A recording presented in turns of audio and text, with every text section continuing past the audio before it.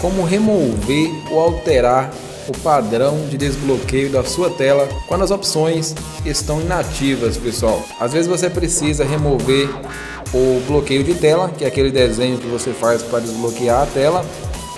E aqui a opção, você vai em segurança, que é em bloqueio de tela, essas opções, a opção nenhum, a opção senha, alguma dessas opções aparece inativa, você não consegue clicar para desativar o desbloqueio da tela. Então esse vídeo a gente vai mostrar como resolver esse problema aí para você conseguir remover ou alterar o padrão da sua tela aí.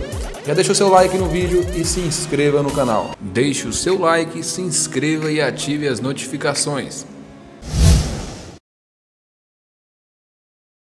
Então pessoal, para fazer isso simplesmente você vai vir aqui em configurações, você vai no menu de segurança, você vai localizar aqui, pessoal, credenciais.